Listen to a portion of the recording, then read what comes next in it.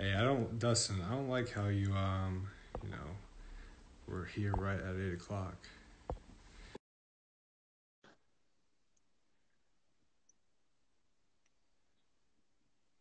Man, we got a good one. We got Sean Birdsong. What's up, man? How you doing? Trey, what's going on? It's been what, you know, almost a little over two months. Right, right. How, how have you been doing since? I'm doing good, man. Doing good. Just trying to get get used to this new, uh, you know, situation that we're in. Can you uh he- hear me? Okay. Yeah, yeah, I can hear you. Okay. Yeah, you know, this uh this new um, I guess I guess pe- pe- people are saying this new norm that we're in. Yeah. Um, but you know, other than that, I think uh, I've been hanging up pretty well. How about yourself? You know, I'm I'm doing well. I think it's you know it's going to be it was a little bit of an adjustment period for me because um, you know I was in Australia first. Um, so when all this kind of started happening, I got um, you know I got to Australia right as kind of everything started getting a little more serious. Right. Um, and I spent only 12 days there and was kind of sent back before you know um, before I got stuck there. Um, but for me, it's been it's given me a chance to really reflect and you know on myself and become more self aware and just you know become a better friend um, because I'm I'm really um, you know I kind of just sit back and realize that you know I know I deal with mental health stuff, but I know I have friends that do as well. So I need to do my job and um, especially during times like these. Right. Right. What would you say has been the best part for you? So for me, like I just said, is like I'd sit back and reflect, and you know that's really helped me out. What, what would you say has been your favorite part about all of this?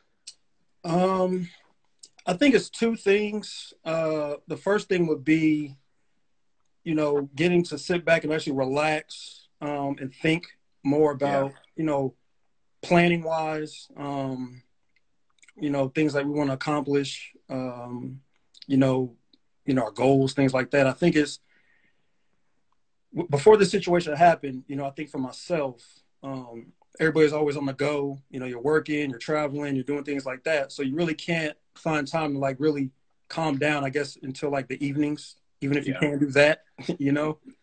Um, but I think for the most part, yeah, just uh, being able to relax. And then the second part of that is, you know, being, you know, with, you know, my, my daughter, and it's almost like I'm um, daddy daycare. You know Yeah. I mean? So, I mean, really. So it's like she's on a she's on a schedule, you know, and uh, it's you know you're uh, reading. You know, got to keep her reading Yeah. because actually her, her uh, daycare is shut down as well. So um, not only are the schools out here, you know, in Kansas City shut down, the daycare is shut down. So you know, I talked to you know her her, her mother, and we kind of worked it out like, hey, you know, you're working from home and everything. I can go ahead and take on that like you know full time um, to like be with her while you're you know working everything. So it's kind of like a blessing, really, just being able to see her, you know, grow and like sort of activities they do at school. You know, she likes to bring them to me, you know, and say, yeah. "Daddy, Daddy, you know, circle time." You know, I'm like, okay. So Uh, listen, so, I know all about circle time being a preschool teacher, so I already know what she wants. Right. So we got circle time, and I'm looking like, okay, so we're getting it's like me and her and her stuffed animals in a circle, and it's like uh, it's amazing. And then on the flip side of that is, you know, just you know, Muppet babies and the usual. So I think Yeah. th- th- those those are the two uh, most important things right now: being with her every day, being able to keep her on track, and then also just being able to reflect and sit back. Um, you know, I feel like a lot of people during this time can, um, you know, really look at themselves and be like, you know, I really got to keep working out because, you know, I know if I don't, I can get set back. I know it can, you know, mess with my mental health. What have you been doing to stay active? Honestly, with her, Yeah. You know, I've been with her um, pretty much. I try to get out and walk. You know, uh, we can get out and walk. You know, we, we have a trail that you know we can go around and you know around the block and all that. You know, I like to, um, you know, still exercise as much as I can. hmm Um, even though they've shut down all the gyms, parks, I try to get out still um, and, and get some exercise that way. Um, How old is she again? she'll be three Oh, in July. Yeah. Great age. So so it's it's funny because she has a tricycle, and when she's you know going up the hill and everything, I'm actually walking and pushing her on her tricycle. You know, one of those long tricycles. Yeah. But she's actually the one, you know, moving her legs. So we get to a certain hill and we go around the pond. And, you know, she wants to see the ducks and all that. You know, we come back around. She's like, "Daddy, Daddy, uh, get on my or can I get on your neck? Can you carry me?" Yeah. And I'm like, okay. So I'm looking at her like, really, you must be worn out. Yeah. You know? So I think, yeah, that's a good part. Able to still get out and exercise and uh, around the neighborhood. And What would you say is your favorite part about being a father? Uh, I say seeing her grow, Mhm. you know, seeing her grow. Um, and I think, you know, just the, the smile, you know, girls are, girls are different, you know, like I've been around a lot of kids and everything like that th- throughout my life. Um, but girls, you know, I, I have a soft spot for girls. Yeah. you know, uh, especially young girls, you know, and it's just, um, especially being a, you know, a dad, I think that, um, you know, the young girls need their dads in their life. And it's like they, I mean, of course, sons need their dads too, but it's still like y- young girls really need their dads in their life um, to really like guide them and things like that. So I just like seeing how she, you know, looks at me. And even during this time of quarantine, um, like I said, I feel like I'm a sub- substitute teacher Yeah. you know, like every day. Um, but I think I think it's really good. you know, although I'm not a father, I would say that's the same thing um, for me that I love most about being a preschool teacher is seeing children grow and, and the different goals that we set for them at the beginning of the year. And, you know, you mentioned those smiles too, just seeing those as well as, you know, there's, it's priceless. Um, Right. although they're not my kids, you know, I care a lot about my students. Right. Um, you're the son of um, of Otis Birdsong, four-time All-Star um, and a gold medalist. How was how was that growing up for you, being you know being his son? You know what was that like? Um, actually, it was unique. Um, and I say that because you know my um, well, backtrack. My mother, you know, she's from Kansas City, and my dad and my mother met when he was playing with the Kings here in Kansas City. So they got married um, before um, you know they moved to New Jersey, and that's when I was born. So the unique thing was, yeah, growing up and having you know guys come over to the house, you know, going to the games, going to the practices, things like that. Um, that was fun, you know. And then I think, you know, around the time I was, I believe I was like eight years old, and they uh they divorced. Um, but they said it to where, even though they divorced, we would still see my father throughout the summers, spring break, Christmas break, and all of that. So it's almost like we never really skipped a beat. We primarily, you know, myself and my younger brother Sydney, we lived with my mother. You know, came back to Kansas City with her, um, and we, you know, pretty much still had that relationship with my dad. So even when I was growing up, um, going back down there with him, and after he his playing days were over, um, we were still, you know, when, when him being in Houston, I think at one point, um, Keem Olajuwon, um, Mario Elie, you know, Clyde Drexler, a lot of those guys would come to the house, and I was in middle school at this time. Yeah, it was a middle school, so I was looking at these guys like, okay, well, that's Clyde, Akeem, and Mario Elie, but I guess to the world, they're like, yeah, you know who these guys are, and I really couldn't appreciate it until I got older. But I think, yeah, it was it was a good experience in that way of being around a lot of guys, uh, playing wise. Um, that I really didn't understand it at the time, being a young kid. But as I got older, I got to. And you know, like a quick story, like when I, when I was in, uh, we were in Boston. My dad's last year playing in Boston. Um, Larry Bird actually hurt his back, and they brought in my dad to you know be that that guy to come in and replace Larry for that playoff push. And I remember going to Boston and being in those practices, you know, seeing like, you know, Larry of course didn't practice, but he would sit up on the top part and watch. And it'd be like Kevin McHale, Dennis Johnson, and Robert Parish. And I was at an age to really understand, yeah, these are the Celtics. yeah, You know? And I was like, it was crazy. Like I'm in the locker room and they're like writing on the, or, you know, um, Jimmy Rodgers at the time was the coach. He was writing on the board and things like that. So I kind of started at that time, like really appreciating, you know, basketball to be like, yeah, this is, this is pretty cool, you know? At that age, who did you look at? You know, it, it, you know, you met him and you're like, wow, he's like really cool. Was there anybody that like really stuck with you at that age? Um, it was a lot of characters. I think really, um, the late, you know, Darryl Dawkins, uh, aka Chocolate Thunder, played with my father in, in uh, New Jersey. He would come over to the house and hang out, and I just remember him being just so funny.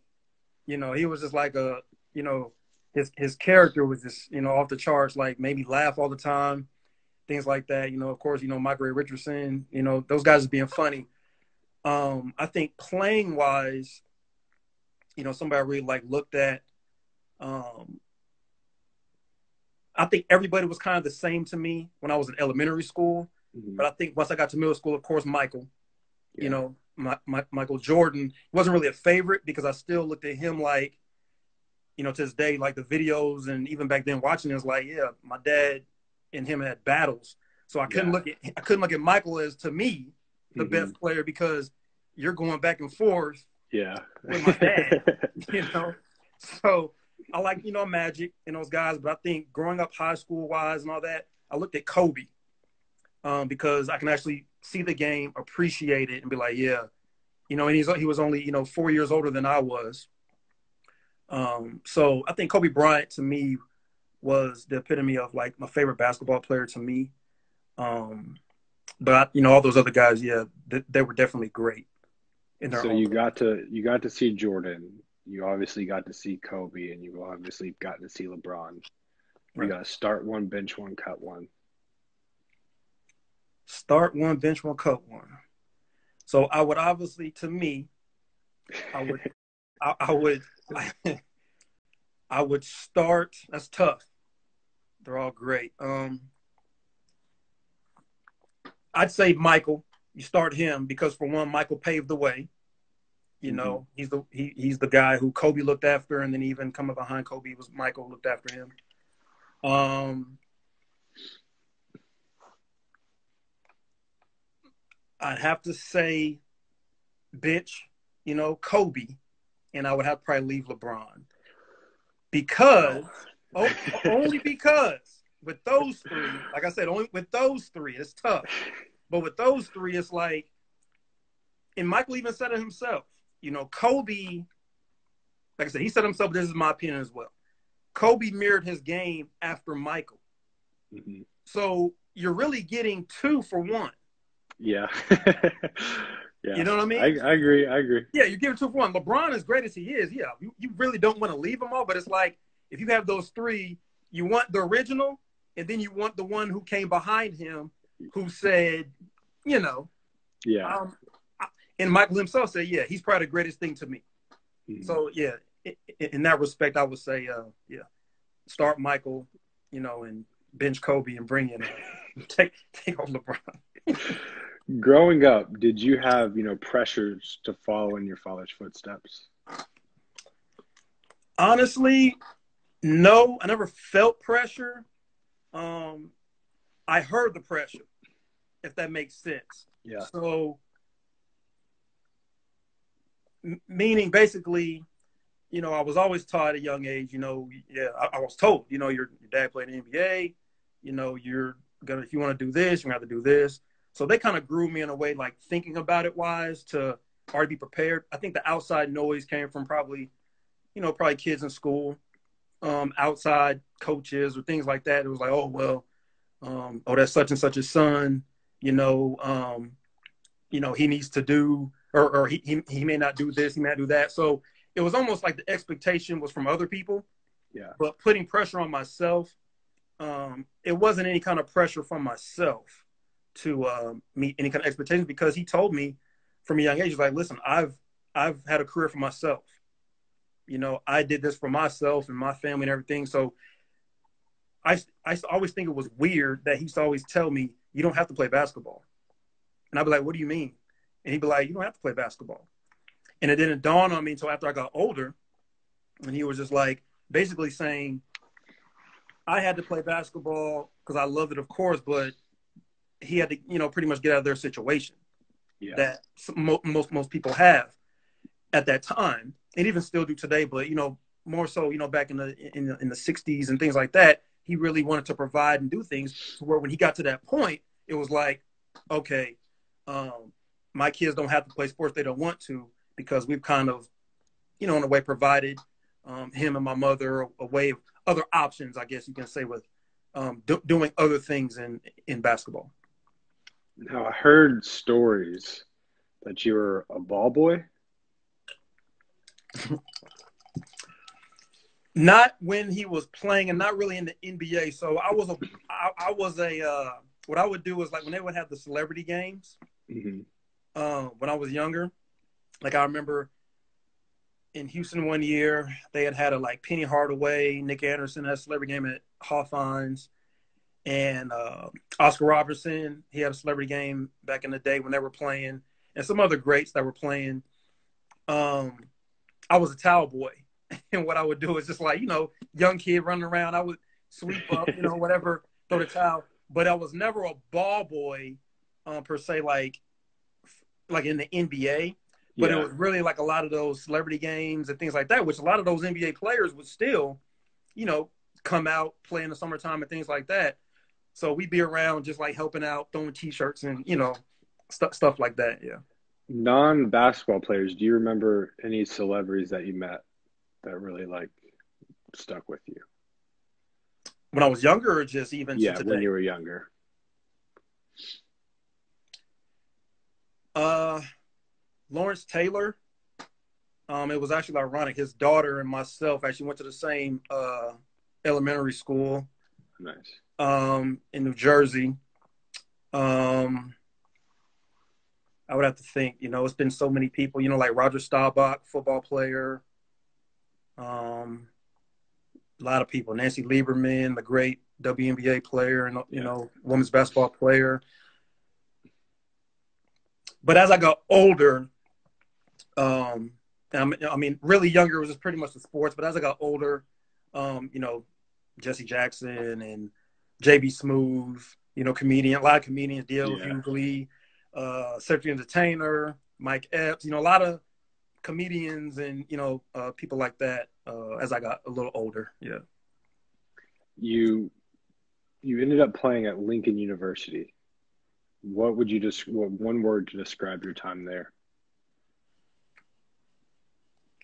Interesting.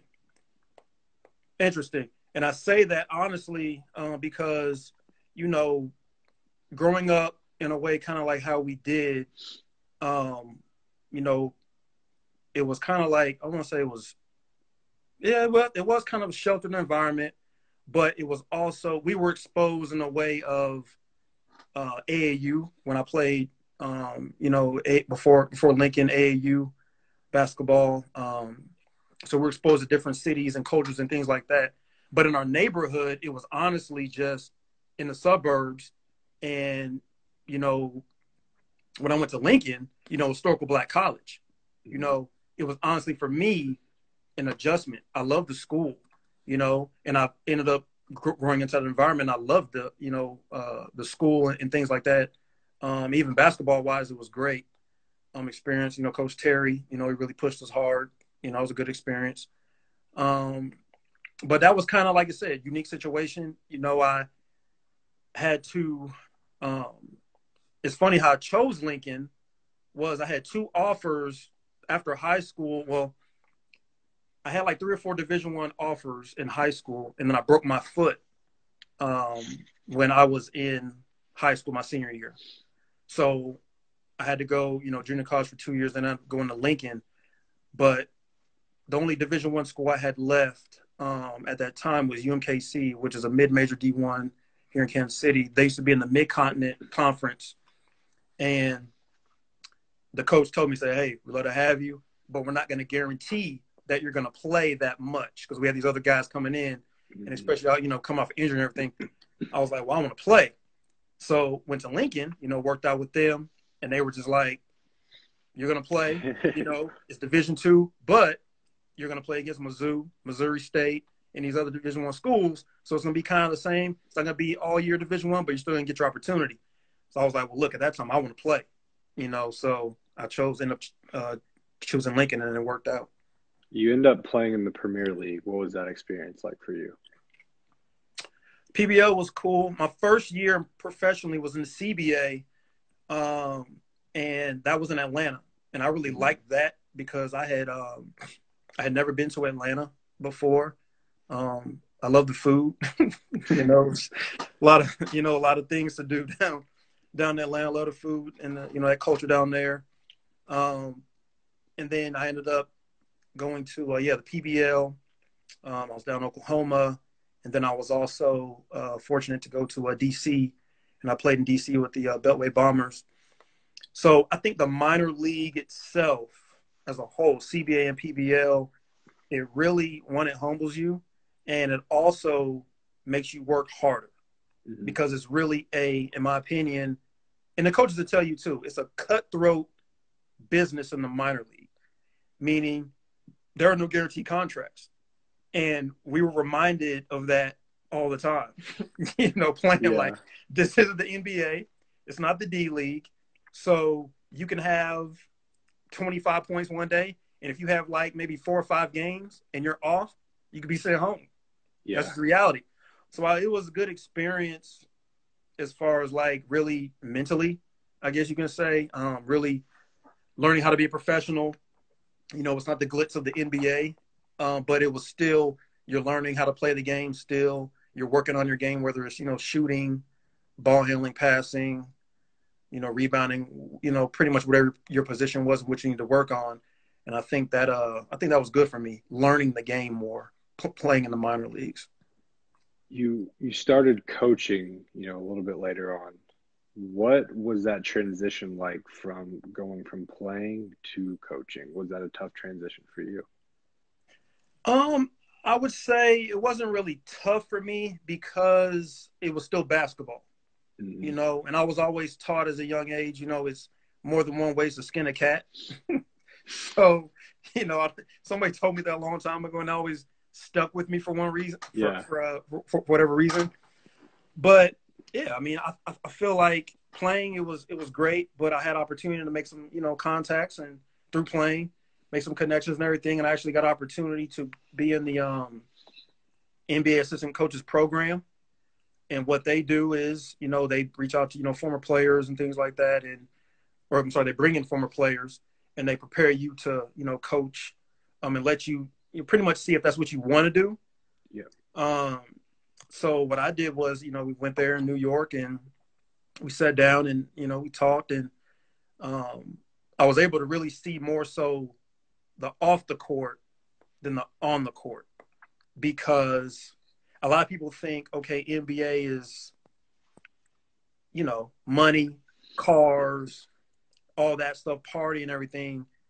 But it's really you know the off the court things as well that really matter you know, yes, a lot of money, but you know, you got to know how to manage it.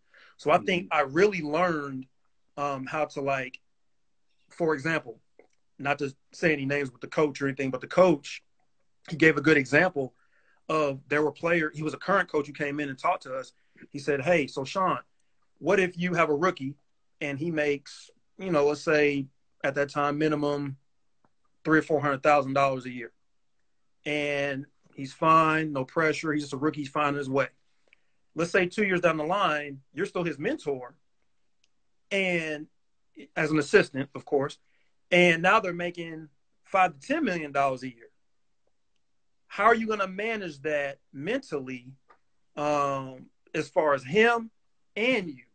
Because now you have to come at him a little differently, and he's going to think differently now because he has more money, he has family, he has all these things going on. So how is your approach going to be? And I used, to, I used to say all the time, I'm not going to change my mind um, towards him because it's just money at the end of the day. Um, now he's going to probably think differently about some things because he has more access to do things. And some people, no, but some people, you know, they spend and you know they have family members who want to do certain things. So we understand that. But I think that program as a whole was really good. Um, just learning the off the court transition um, as well as on the court f- from playing to me. How how long did you actually end up coaching? Well, I started in this assistant coaches program, and what I did was um, I would go in and I would like run, um, like I would help run the um, combines. You know, they had like the NBA G League combines. I would be a coach for that. Um, I actually got an opportunity um, down with the Texas Legends um, with you know the the great coach Bob MacKinnon, who coached down there for years. Um, also his dad, uh, Bob MacKinnon Jr., coached in the NBA. Got to help him. Um, also, uh, the Dallas Mavericks uh, basketball academy.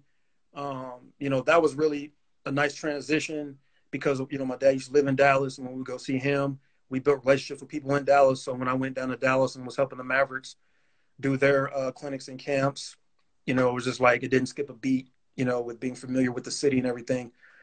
Um, so I ended up getting an opportunity to coach after that in high school, um, coaching you know high school boys. So I think, like I said, being a player and then going into the transition of coaching through that program, it really prepared me mentally what to look out for and really understand that um, you know these are players but at the end of the day these are still people it's more than just being you know an, an athlete and i really think like you know lebron and you know maverick were really on to something when they said you know you know more than athlete you know be more than athlete like that really resonates because a lot of people like i said you throw these athletes in a box you know like i said you play and it's like you don't want to just be labeling an athlete. What you're doing now, you know, with, with this is amazing, um, especially getting other people involved and everything. I think that's great, and it shows that yeah, we can do more than just you know dribble basketball and, and, and you know shoot a basketball. You know,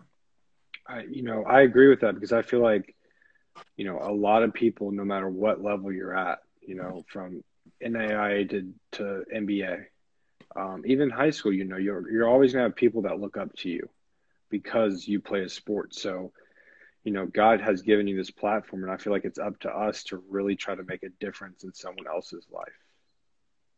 100% agree. You're right. After coaching, you you know you moved on and you started uh, nothing but net sports. Can you talk a little bit about that? Yeah, so nothing but net was just um, a branch off of you know in my mind what I learned over the years. You know, um, I was thinking in my mind, okay, how can I, you know, give back um, to the kids and you know Kansas City as far as training? So a lot of parents would come to me and say, "Hey, I got my son or my daughter, you know, what can I do?"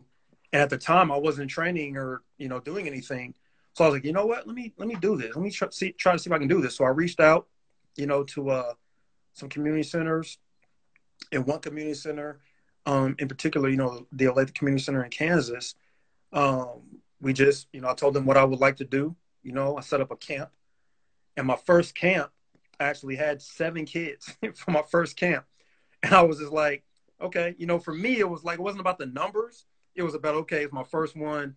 Let's pretty much see how how how, how this goes, and it went well. Like the parents loved it. You know, the the kids loved it.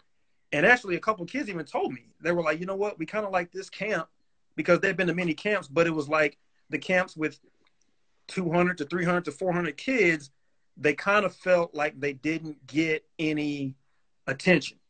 Yeah. You know, that's and that's what the feedback I got, even from the parents, was like, yeah, you know, we're paying all this money for camps, but we're not really getting any, you know, we, we don't feel like we're getting that one on one. So that's when I went to Olathe and I said, well, hey, it was a great, you know, um, a great, a great camp. I'd like to do more of these and that's when they were like, "Hey, let's let's let's let's do this partnership," and that kind of grew to you know me. Um, I think that was in July, and then by December we had set up a winter break camp, and then it just the rest is history with that. I mean, we just started getting like maybe 60, 75 kids per, um, and I kind of still, you know, we broke it up into different groups, of course. Um, but then the trainings came after that, individual workouts, and then the clinics, of course, came after that. So I really got an enjoyment and still do um, from working those kids out on a daily basis. Of course, now we can't because of, you know we're quarantined and everything with uh, COVID nineteen.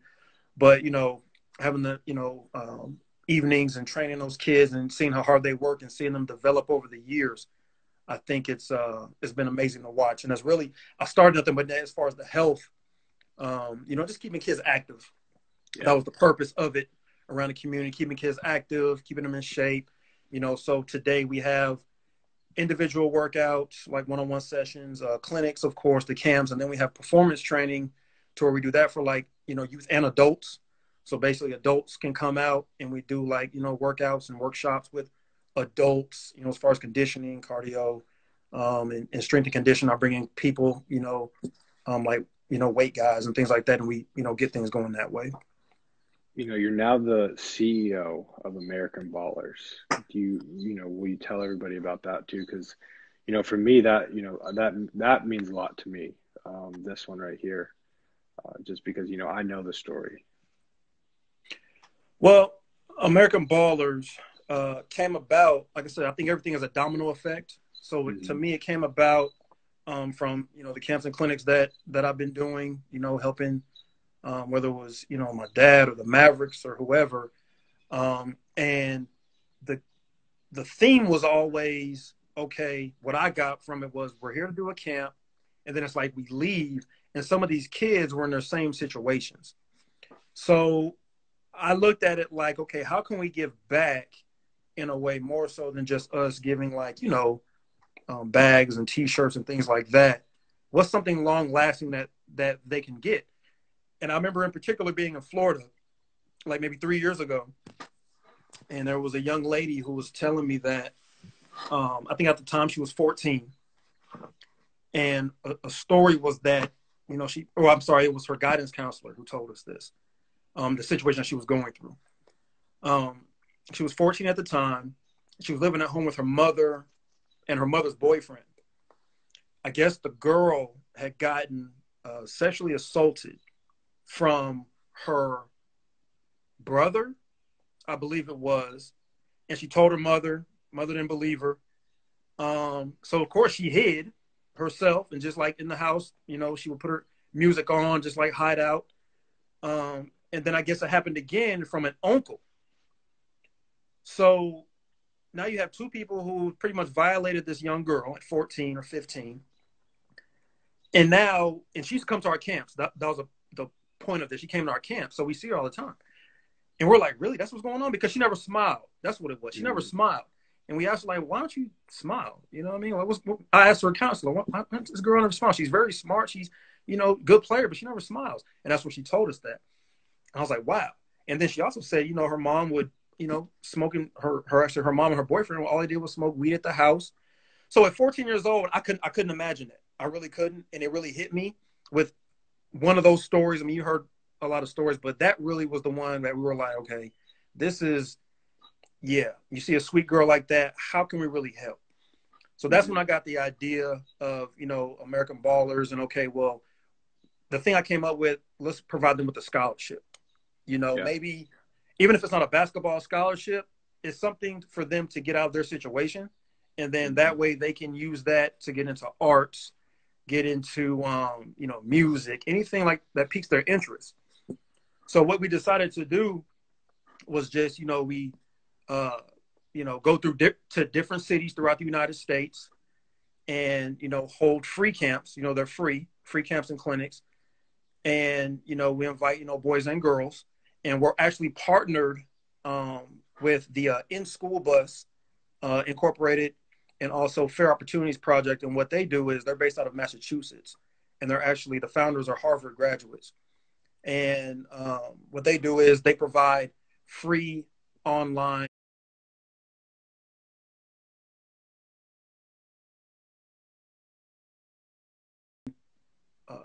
prep courses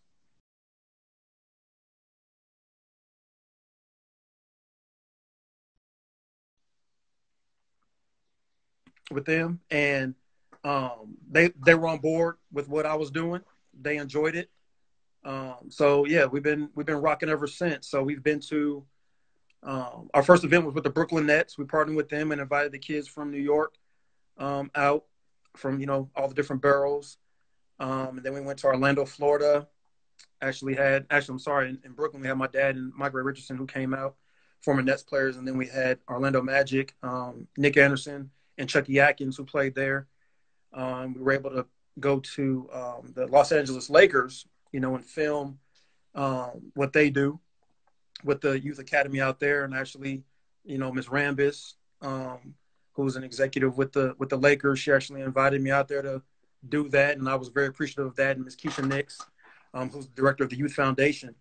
Um, so that was a good experience. And then we had two events um, in Chicago for All Star Weekend, one at the YMCA and one at Dunbar Vocational High School, which um, Mr. Joe Tsai and his wife Clara, who are the um, owners of Alibaba and also the owners of the Nets, came out, spoke to the kids.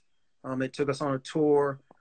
So um, American Ballers has, you know, been going strong um, since since we started. So we're keeping it keep keeping it going that way. You know, I, I really commend you for all of this because um, I can just tell how passionate you are about wanting to make a difference. I mean, uh, you know, I appreciate that. You know, and I look at it like I've I've been where these kids have been, and not necessarily honestly as far as um, the physical struggle of some of these kids, as far as you know, assault and things like that. But I think we all go through things mentally at, at a young age, you know, through adolescence and um, even in middle school and high school. So, and like I said, you being a player too, like I said, we all go through different things as student athletes. Yeah. So I think that for me, I'm really a a case to like really express um, what it is to be a student athlete. You know what to look out for, the thing, what you're thinking. You know, you have to, especially like in college, you're on the road. You play a game on a Tuesday night. You got a test on Wednesday morning, and especially you know whether it's a bus trip or a flight. You know, you got to get back and do your homework. So it's a lot of things um, that I think that's beneficial to being a student athlete, and I think that prepares. Uh, it, will, it will prepare these kids mentally of the game of life, really. Uh, you know, playing sports and other activities as opposed to just being a student. You know. You know, with anything, it's important to have, you know, a great circle around you, and I, I know American Ballers has that. You know, um, you know, me and my cousin, who I know is watching this, were able to meet Sharon um, you know, she I know she's in here as well. Um, you also have Dr. Juan Delgado. How important is it for you to have a mental health consultant a part of your team and a part of these camps? Well, first thing, you know, Sharon Sharon uh, Thomas Lelon, she's been awesome. You know, since this whole process, she's been with me since the beginning um, of this. And actually, she worked um, with Orlando Magic, and she's been around the NBA for about 20 plus years. So she also has her knowledge um, and things like that, um, as far as you know, just the industry and you know and all that. But I think um, you know Juan, Dr. Juan, um, he really, you know, I, I'm really appreciative of him also because when I met him, we were actually in New York, and at, you know at the time he was working at the uh, sports science lab in New York City. And that's you know a main sports science lab to where you know guys go there for training professional athletes college athletes. They go there to get their you know training and all of that. So when he took us on a tour of the facility this was maybe like two or three years ago first time i met him i actually thought that he was the person in charge like yeah. because he from start to finish he was running the show you know so he would show us this show us that show us this so then finally like i think maybe the last hour, 45 minutes to an hour of the whole uh, presentation and the meeting, we finally met the two owners. And I was like, I'm thinking in my mind, I think I might have told either Sharon or my dad, I was like, I thought he was he was the main guy. like this guy knows his stuff. you know what I mean? Yeah. So um, I think just being around him at that time and seeing all the knowledge he knows and everything, um, for him to come on board with us, right? Uh, you know, with American Ballers, it's amazing, and I think he has a lot to offer the kids mentally, because I yeah. think a lot of us, you know, like I said, we go through things as adults, but and I th- and I know everybody's different, um, but I think more so we can handle it, whether it's stress, uh, you know, depression, anything that you're going through, you can handle. We can handle that a little bit more than your average 12 13, 14 year old because you don't know what they have at home. Mm-hmm. You know, they may not have that guidance or somebody to look up to to be like, how do I get through this? To have somebody put that arm around them, you know, and say, this is how you do it.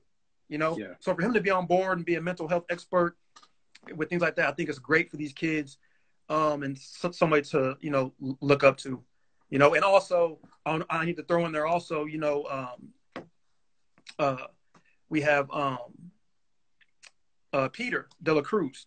Um, you know, he you know, was involved in the Iris Foundation, um, which you know was about bullying and, and things like that. So having Peter and Sharon and, and, and you know and uh, and Juan involved, I think it's a lot of benefit more than just basketball aspect of it. It's a lot of knowledge being thrown these kids' way, and I think it's re- really good for the program. You know, along with everything you do, um, you're also a teacher for those with disabilities. Right. When did that, you know, when did that passion kind of start for you? Because for me, um, you know, that's what I kind of commend you most for because, you know, I have a, a big passion for those with disabilities. And I look at, you know, us and we don't see many black males in the field. So when did that passion kind of start for you? Um, my mother being in education.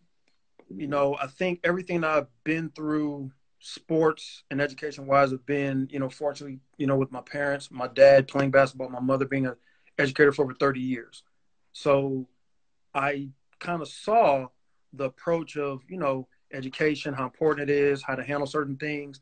So when I got of age, I was like, okay, I started seeing t- temper tantrums in, you know, whether it was playing, like we were playing um, in high school, college, uh, professionally, and then even when you go to these camps, there's always a couple kids, you know, that are just like, you know, have their fits. You got to put an arm around them and everything. So I got into the field, you know, in high school, um, in special education, and I really enjoyed, you know, that was my way of giving back and giving my knowledge to them because I was always taught serve. You know, you serve people, you give knowledge, you wanna you wanna give what was given to you. Yeah. You know, so I'm I'm giving hopefully somebody, you know, who's watching my knowledge is like you, you're giving somebody your knowledge um, that was given to me, that was given to them, and so on and so on. So I think the kids that I, you know, I'm involved with special education um, in the high school uh, sector is like, you know, every every day is a I almost say it's a challenge, but it's it's something different every week. You know, you're dealing For with certain things, but they were, you know, if if they know you're real, and they uh, know that you're sincere, they're gonna respect you. Yeah. That's the main thing. I've noticed that my whole time dealing with kids. If they don't think you're real and they don't, you know, they think you're like phony, they're not gonna respect you at all. They're not gonna and I think that's all about communication. You know, talking to these kids and um, you know, seeing where they're coming from, not really judging. Yeah. You know, that's what I was saying. I think um speaking of that, I think for us, you know, no matter what field you're in, you know, I think that if we paid more attention to kids and listen to the kids and listen to what um, their needs were or are, um, we would be better off because they're the next generation coming up. Yeah. You know, so if we neglect them and we're just focused on working all the time and, and, and taking care of other priorities instead of really looking out for the next generation coming up, then it's not going to be beneficial for us. Because when we get like 60, 70, 80, and we've raised a bunch of you know, little monsters, yeah, you know, it's not going it's not going to be right. You know what I mean? So yeah, for sure. I think uh, I think yeah, j- just me giving back and being real with these kids is you know I really give I really get a benefit out of doing that.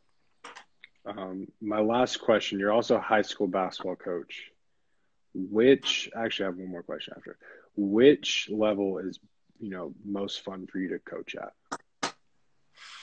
Oh wow.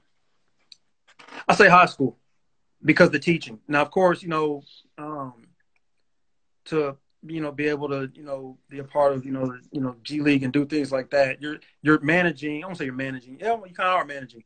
You're you're dealing with grown men, yeah. which is fine. But we know it's, it's, it's a business. Mm-hmm. You know, and in my personal opinion, you know, and I, I dealt with it, you know, being a player and going through the minors and everything. I always say my funnest time of playing basketball, honestly, was in high school. Yeah. Those are the best days of my life as far as playing basketball was in high school because college, it, it, I mean, high school was fun. You know, college, you're on scholarship. It's still fun, but, you know, you're still, you, you, it's still a business in a way. And then pro is just as a job. yeah. so for sure. Kind, you know, it's a job. So mentally, like I said, mentally, you have to be in a, a proper space to be like, man, I got to get up and you know professionally thinking, okay, I'm gonna go out here, I'm gonna do my job, yeah, but I don't know what they're thinking over there in the front office. I don't know what they're mm. thinking, um, what their next moves are gonna be. Um, so I think, yeah, to, to answer your question, I think giving that knowledge to the kids, and you know, in high school they're innocent. You know, coaching high school kids was, you know, is, is great. Um, to especially to see their progression. So from freshman to senior year, um, seeing them progress, you know, through through uh, the sport, and also seeing them education wise. Yeah, you know, for sure, I you're agree. Seeing, you're, you're seeing them grow as a as a person. So I think, yeah, for me, it's definitely high school. My last question: You look at the NBA today. Out of guys you have not met, you have to pick three to have dinner with. Who are they going to? Who are they going to be? Guys who I have not met. I'd say that play in the NBA today, or just yeah, that play, right that now. Play today. Right now, yeah. um, I say, of course, you know Le- LeBron. Um, I like LeBron's, you know, of course, insight. Just he's so smart, uh, basketball wise. I've not, you know, I've had a chance to see him play um, multiple times, but never had a chance to meet him. Um, and especially what him and Maverick are doing. I had a chance to actually meet Maverick and talk to Maverick a little bit. We're in Chicago, so that was nice. But I would say LeBron, yes, uh, definitely he's one. Um, CJ McCollum, CJ McCollum, um, great business savvy, the way he yeah. thinks, um, what, what, what he's doing off the court, um, is uh, is amazing um, especially in his preparation. And well, that's a good question. That's, I know I kind of put question. you on the spot with this. Yeah, that's a good question. um, because I'm trying to think of the guys who I haven't met, and also,